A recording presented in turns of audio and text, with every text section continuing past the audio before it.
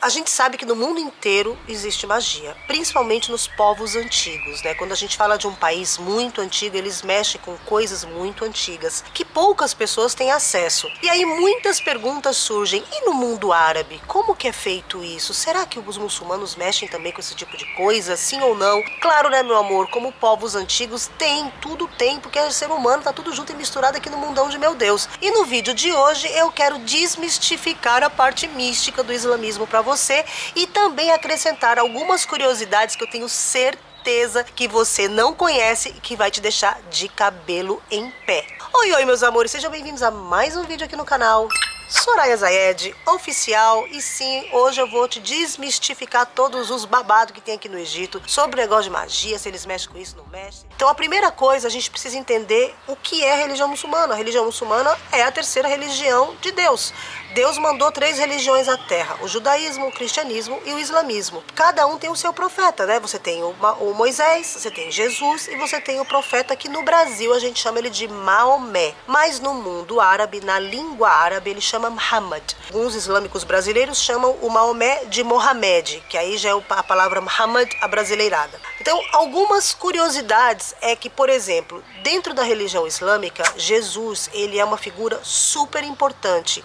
Ele é reconhecido como o Messias e como o percursor, precursor, percursor como o que veio antes de Mohamed, ou seja, foi o Messias, o profeta, uma das divindades mais importantes dos, entre os profetas, que veio justamente para preparar o terreno ali, vamos dizer assim, de uma forma grotesca, para os muçulmanos. Porém, para o islâmico, Jesus não é o filho de Deus, e sim uma divindade, um profeta super importante que deu a origem ao evangelho cristão, que foi quem criou a religião cristã. E pelo amor de Deus, vamos respeitar, porque todo mundo tem direito a acreditar no que bem entender. Por exemplo, no judaísmo, quem é Jesus para os judeus? Jesus foi um rabino muito importante para outra facção dos judeus. Ele foi um líder religioso, mas sem nenhuma divindade. Ele não é reconhecido como Messias, ele não é reconhecido como filho de Deus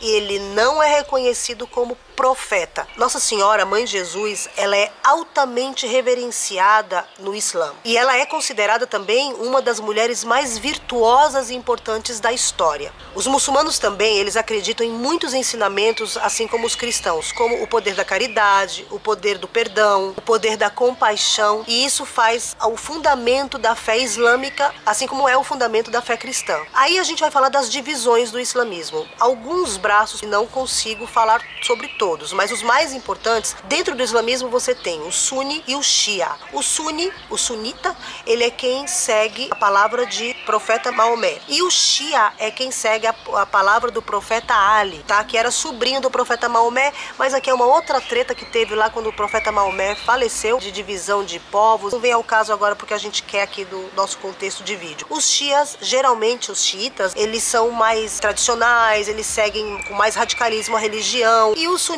são um pouco mais, digamos assim, modernos, um pouco mais flexíveis, tá? Isso da forma grotesca para a gente entender. Aí nós temos, que é pouco conhecida, que são os sufis. O sufismo, ele é a parte, vamos dizer assim, mística da religião muçulmana. Dentro do sufismo tem vários braços, mas eu vou pegar para você aqui, na maior parte das vezes, quem segue o sufismo é chamado de sufi. E os sufis, eles usam como práticas a meditação, a dança. Dança não uma dança como a gente conhece, não. É uma dança ritualística. Aqui no Egito, por exemplo, a gente tem para os turistas, nós temos uma apresentação desses rituais, que é usado música e dança, a dança sufi. E essa dança é uma dança que é justamente para elevar o seu consciente com o, com o, inconsciente divino. Então é uma forma de meditação que eles usam com a música, determinadas palavras, ritmos específicos que são usados dentro dessa música, também utiliza técnica de respiração. E também dentro dessa dança, para os mais elevados, eles usam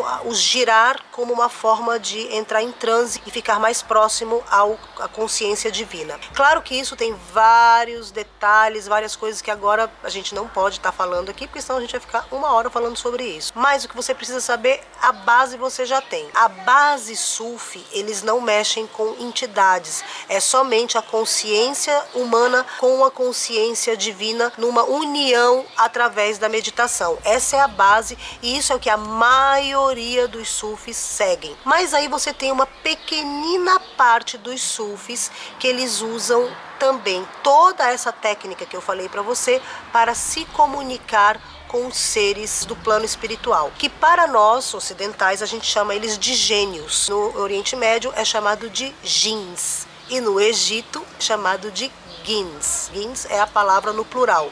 Gin é a palavra no singular. Os gins, quando eles são manifestados, assim como nas religiões de origem africana, nós temos os do bem e os do mal. Você tem dentro da história, por exemplo, muitas pessoas conhecem a história do profeta Salomão. Salomão, ele era uma pessoa que ele, ele tinha controle dos gênios. Esses ensinamentos do Salomão passou de geração por geração, chegando agora nos tempos atuais né, desse pequeno grupo de pessoas. Para quem é islâmico mesmo, da tradição, não mexe com essas coisas. Dentro do Egito, os sufis que trabalham com essa parte de jinn, falar com os seres, o negócio é bem pesado quando você vai para a parte mais do ocultismo. Para esse pequeno grupo de pessoas que trabalham nessa parte mais oculta da, do sufismo, a gente tem coisas que são assim completamente difíceis da gente acreditar. Aí dentro desse braço do sufismo, essas pessoas que trabalham com a parte espiritual e conversam com os jeans, eles fazem de tudo. Você tem dividido aqui a parte que só trabalha para coisas do bem, é para trazer prosperidade, para trazer saúde, curar doentes, exorcizar pessoas que estão ali possuídas por um gin baixa vibração. E tem os caras que fazem aquilo para pegar as coisas ali mais pesada mesmo, que é trazer a pessoa amada em três dias, para separar dois casais que estão se amando ali, e aí por aí vai. É igual no mundo inteiro. Qualquer povo no mundo que tem alguma, alguma parte ali de magia, sempre é, você vai ver, termina na mesma coisa. Curiosidade, na verdade, é que aqui, no caso, as pessoas que mexem com isso, elas são extremamente religiosas. Então você tem, por exemplo, mulheres que fazem isso, que são poucas, mas são videntes. Mas os homens que fazem isso, que é a sua maior parte, os mais conhecidos e que ganham muito dinheiro para fazer isso, são homens. E esses homens, eles são sheiks. O sheikh, ele é o padre da religião muçulmana. Então, geralmente, quem faz esse tipo de trabalho mais aprofundado, mais sério, trabalhos mais poderosos, são geralmente os homens. Tem mulher que faz? Tem mulher que faz, mas elas não são tão divulgadas como os homens. Então, os homens, eles são conhecidos por quê? Porque eles dentro de uma mesquita, eles são ali o líder religioso da mesquita, trabalha também além de trabalhar como sheik, ali padre, né, líder religioso, ele também é sufi, porque geralmente precisa não necessariamente que todo cara que trabalha com isso, todo sheik que faz essa parte espiritual ali mais aprofundada do misticismo, ele tem que ser sufi. Não, não é obrigatório, mas geralmente os caras que fazem isso, eles são sufis, justamente por causa daquela coisa que eu falei para vocês, da meditação e sair do corpo para a consciência humana com a consciência divina. E o que mais me surpreendeu dentro dessa pesquisa é que eles vão fazer os trabalhos, geralmente eles vão em cemitérios, por exemplo, para fazer esse tipo de trabalho. E quando eles fazem esse tipo de trabalho, eles também utilizam de humanos pequenos, entenda a palavra, tá? Que ainda estão ali crescendo, porque são pessoas puras e que geralmente quando vêm fazer esse tipo de trabalho são pessoas que têm já uma mediunidade. Então são pessoinhas que têm uma visão do mundo espiritual, têm algum tipo de contato. E geralmente geralmente eles pegam até o sétimo ano dessa, desse ser humano, entendeu? Porque é quando a mente está pura e não tem conhecimento de nada, então fica um canal aberto entre o mundo humano e o mundo espiritual. Como que funcionam os preços desses caras? Vou falar caras, tá, gente? Porque eu tô pegando aqui a maioria. Claro que, como eu já falei, tem mulher também que faz. O preço dele depende do tamanho do poder que ele tem, vamos dizer assim. O tanto que ele consegue te revelar é o tanto que ele vai cobrar. Isso é errado? É errado. Os islâmicos mesmo, as pessoas seguem a religião certinho ali, que são tradicionais, eles condenam esse tipo de prática. A não ser que essas pessoas, né, no caso esses caras que têm esses superpoderes aí, vamos dizer assim, eles usem seus poderes para ajudar os mais necessitados. Tipo, uma pessoa que está ali é, possuída, uma pessoa que está muito doente por fundo espiritual, aí esses caras vão lá e ajudam de graça, sem cobrar nada, sem aceitar nada em troca, somente por fazer a caridade, porque também existe essa vertente, tá? Mas aqui a gente está falando, a gente quer a, a, parte babadeira mesmo, né? Então esses caras aí que são errados, que fazem essas coisas por dinheiro, eles cobram muito dinheiro. E geralmente eles atendem quem? Eles atendem sheiks do mundo árabe, sheiks aqui que eu tô falando agora dos príncipes, é um, um título de nobreza, reis, homens de negócio que precisam precisam fazer um super negócio, fechar um acordo. Esses caras que atendem esses homens de negócios, essas pessoas importantes que têm muito dinheiro, eles não atendem pessoas normais assim como eu, como você, porque a gente não pode pagar o preço deles. E assim, é muito dinheiro, até onde eu pesquisei, é muita grana mesmo. E aí você deve estar perguntando assim: poxa vida, mas que coisa chata, né? Esse povo aí tem isso. A gente não pode esquecer que isso daqui, como eu falei lá no começo do vídeo, é uma minoria dos religiosos. E isso daí é no mundo inteiro, porque quando a gente fala de religião, a gente tem a parte mística do islamismo, a gente tem a parte mística do cristianismo, vocês conhecem, no Brasil a gente tem várias vertentes místicas que a gente já conhece. E também, dentro do judaísmo, você tem também a parte mística. Por exemplo, uma das partes místicas que é a mais divulgada pelo mundo inteiro, que é a Kabbalah. A Kabbalah também, ela tem a parte positiva e a parte negativa, assim como tudo, porque mexe-se com energias. E as energias sempre você tem a positiva e a negativa. E quando a gente fala de religião, a gente sabe que Deus, ele dá pra gente a religião e os ensinamentos dele, a bondade, a compaixão, o perdão, né? E a, tudo isso aí que a gente conhece como a religião de Deus, a coisa boa, né? O ser humano ser melhor. Mas aí você tem o Shaitan.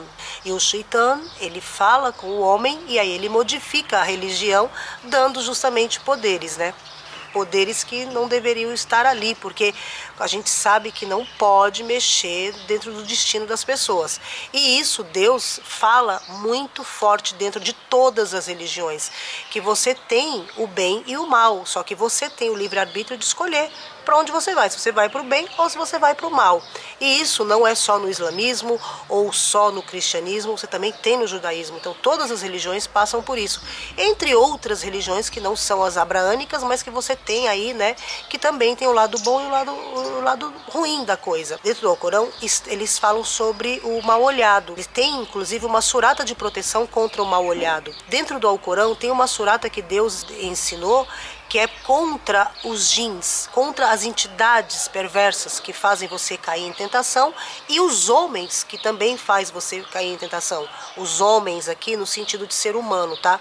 Porque segundo os ensinamentos islâmicos, você tem o jin, né, a entidade que faz você errar, que fica ali na sua orelha falando que você tem que fazer a coisa errada, e você também às vezes tem uma pessoa próxima a você, aqui, aqui já é minha visão, né, de religião, uma pessoa próxima a você que fala ali, fica te, sabe, jogando alfinete sobre uma outra pessoa até você errar, cair em tentação e fazer uma coisa errada. Quem nunca, né? Quem nunca já foi influenciado por um outro ser humano a fazer uma coisa errada? Seja experimentar um cigarro pela primeira vez, seja dar um gole numa cachaçinha ali num momento que você não poderia dar. Quem nunca? Então tem uma surata, inclusive, que eu separei aqui para você, que a gente costuma falar quando a gente vai sair de casa, quando a gente vai encontrar com pessoas. Quando a gente acorda é bom falar justamente para você ficar blindada desses sussurros do, das coisas negativas. Então essa surata, ela é justamente de proteção, é uma surata para proteger você contra as influências negativas, seja da parte espiritual, né, do plano espiritual ou do plano dos homens mesmo.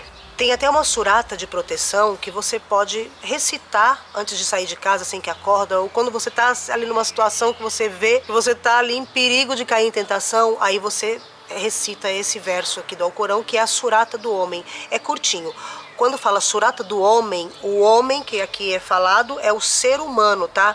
Em árabe ele chama Enes. Enes é ser humano, mas traduzindo do português eles traduziram como surata do homem.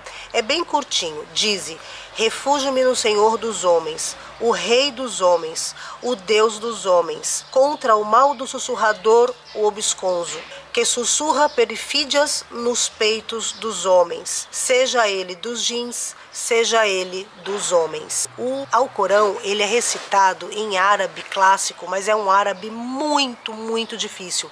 É assim o suprassumo da língua. Então, por isso que aqui quando eles traduziram para o português, eles têm essas palavras aqui dificílimas, como perfídias e como absconso. Depois procura no dicionário. Essa surata é justamente para você não cair em tentação. E é incrível porque assim, quando você fala sobre esses rituais que eles mexem com esses seres, né? Você tem durante as passagens da história, quando você entra dentro das histórias mais profundas dos profetas, sendo Jesus, sendo Moisés, sendo Maomé todos esses profetas passaram por algum momento por tentações, né, que são as provações da vida. E justamente por eles terem ali a sua parte humana, eles têm que provar a Deus a sua fé, a sua fidelidade a Deus, né, a sua, o seu comprometimento com Deus e resistir a essas tentações. E aqui entra de novo esses caras aí que trabalham com essa parte mais mística da religião, porque eles trabalham justamente com isso, com a fraqueza do ser humano. Então, por exemplo, quando eles vão lá, pega aquela, como eu falei, aquela pessoinha pequena para fazer aquela visão ali. Aquele ser entra justamente naquela pessoinha por ela ser pura. E aí, isso daí também vai dar um uma credibilidade na minha fraqueza, porque eu, como ser humano, vou ter a fraqueza, vou falar assim: essa pessoinha não poderia estar inventando isso, porque como que uma pessoinha vai inventar né, uma ali uma, uma possessão, né? E tá falando coisas que eu preciso saber. Então é tudo muito articulado justamente com a fraqueza do ser humano. Tanto é que aqui eles falam que quando você tá ali ligada com Deus, quando você está com a sua religião, com a sua fé, a sua fé interna mesmo. Aqui no caso, quando eles falam sobre a sua religião, eles nem estão se referindo ao islamismo, mas eles falam com a sua crença no seu Deus superior, no seu Deus único. Então eles falam, quando você está ali toda linkada com o seu Deus, né? Em tudo, com tudo em dias, fazendo a caridade, fazendo o bem, tendo compaixão dos outros seres humanos e dos outros seres vivos. Você está muito mais blindada do que uma pessoa que vive ali na esbórnia, né? Do que vive ali uma pessoa bebendo direto, fazendo coisas erradas direto, então sem estar tá rezando, sem estar tá falando com Deus. Então essa pessoa, ela tem mais chance de sofrer ataques externos dessas forças negativas. Quando a gente fala sobre mágica, a gente tem em todos os povos do mundo. Se você procurar na Europa, tem. No mundo árabe tem, nos Estados Unidos tem. Quando a gente fala mexer com a, o lado que a gente não conhece, né, sempre você vai achar pessoas que aí cada um tem o seu título lá, que é, é dado por a sua religião, pelo seu país, mas quando você mexe com essas coisas, eu acho que fica mais profundo e mais perigoso quando você mexe com coisas antigas, os seres antigos. E por isso eu tenho muito medo dessas coisas, eu tenho muito cuidado para falar sobre isso, para ver que nem vocês sabem que eu fui numa bruxa por um acaso. Eu falei para vocês aqui. Essa mulher, por exemplo, essa bruxa que eu fui, ela é uma pessoa super religiosa, mas ela não faz trabalho. Ela é uma pessoa que trabalha somente por bem. Tanto é que ela só falou, deu as previsões que ela tinha que dar para mim, porque ela foi obrigada. Segundo ela, tinha uma entidade ali do lado dela que estava querendo falar comigo. Eu fui acompanhar a minha vizinha minha vizinha que foi lá fazer a consulta dela mensal que ela faz com a mulher. Eu não, eu só fui acompanhar, porque depois a gente ia encontrar com umas outras pessoas que não vem ao caso, a gente ia tomar um café e eu fui. Eu ia ficar na sala de espera e a mulher mandou me buscar. Então, essa, por exemplo, essa bruxa, ela é uma pessoa super religiosa, mas ela não faz esse tipo de trabalho. Ela não traz a pessoa amada, ela não faz nada para prejudicar ninguém, não. Ela só lê ali o negócio que ela tem que ler, o seu futuro, né, o seu, a sua borrinha do café, digamos assim e pronto. E ela ganha seu dinheirinho. Cobra para fazer isso? Ela cobra. Mas ela, até onde eu sei, não sei quanto que ela cobra, porque ela não cobrou nada de mim, porque como eu não fui lá para consultar com ela, ela falou porque ela queria falar. Até assim, dentro da minha crença aqui, do, do que eu já vi na minha família, às vezes a gente fala que essas pessoas fazem isso para poder trazer você de volta e da próxima vez elas pegarem seu dinheiro. Mas quando eu voltei lá, porque eu voltei porque eu estava com medo, vocês lembram disso? Eu fui lá e eu não fui cobrada. Então ela é uma pessoa que assim, eu diria que ela é uma pessoa do bem, não conheço, não tenho amizade, então não posso dizer assim 100%, mas acredito que ela seja uma dessas pessoas que são abençoadas por Deus por ter uma visibilidade né, atrás do véu espiritual e não usa isso para o mal, e sim para ajudar as pessoas. Porque até onde eu conversei com a minha vizinha, ela resolveu vários problemas de saúde da família da minha vizinha. Minha vizinha estava indo lá nessa época justamente por causa da mãe dela que estava muito doente. Hoje em dia a mãe dela está melhor, mas claro que tudo com consulta médica, indo fazer todos os tratamentos que tinha que fazer, tomando a sua quimio do jeito que tinha que tomar, mas também pedindo ajuda ao plano espiritual. Segundo a minha vizinha, a mãe dela está bem melhor, está quase que recuperada, mas os médicos já haviam dito que o caso da mãe dela não era uma coisa terminal, era uma coisa em início, descobriram cedo, então deu para curar. Mas quando a gente vai falar dessas coisas ou visitar essas coisas que a gente não conhece, Tô falando essas coisas não é por falta de respeito, tá? É simplesmente por limitações aqui da, né, da, da, plataforma que eu não posso falar abertamente. Mas quando a gente vai procurar esse tipo de ajuda, né, ali do, de coisas que a gente não entende, a gente tem que tomar muito cuidado, porque como a gente não entende, às vezes você acaba sendo enganada, acaba pegando e pagando uma, um dinheiro e não tendo o resultado que você queria, ou às vezes você não pode estar tá pedindo por aquilo que você está pedindo. Uma coisa que eu aprendi na minha vida, assim, lendo, pesquisando, durante esses anos todos de vida, não estou nem falando de Egito, tá? Mas é que essas coisas, por exemplo, você vai lá num lugar desse para pedir pela sua saúde, tudo bem, é válido. Pela saúde que nem a minha vizinha frequenta para poder pedir para a saúde da mãe dela é válido. Agora, você pedir para trazer o bofe lá que você queria, ou para separar não sei quem, ou para trazer dinheiro, essas coisas não, porque sempre tem um efeito dominó para tirar uma coisa de uma pessoa e te dar isso, isso aí vai, sabe, outra coisa. E como a minha avó, que Deus a tenha, dizia, é, às vezes o, o, o shaitan, né, ele te dá com a mão direita, mas ele toma com a mão esquerda. Então a gente tem que tomar muito cuidado. Bom, meus amores, então esse foi o vídeo de hoje. Espero que vocês tenham gostado. Ficou meio confuso? Ficou meio confuso porque tenho que falar com cuidado. Tô falando da religião dos outros, né? E sem contar que eu não posso usar abertamente. E por que que eu fiz esse vídeo? Porque eu, nos próximos vídeos, eu não sei exatamente quando vai sair, porque eu tenho que acabar de assistir essa série. Eu estou assistindo uma série que fala muito especificamente sobre isso. Então, quando eu chegar a relatar a série para você, eu gostaria que você entendesse todo o fundamento que vai estar dentro da série, que é uma série super rica em termos de conhecimento geral sobre outros povos e sobre muitas coisas místicas que existem nesse mundão de meu Deus que a gente nem fazia ideia que existia, tá bom? Então, se você gostou desse vídeo, deixa seu like, se inscreve no canal. Se você chegou até aqui, é porque você gosta do canal. Então, indica o canal, posta no seu Instagram, que aí eu reposto você, tá bom? Então, ó, um beijo bem no meio do seu coração e fui!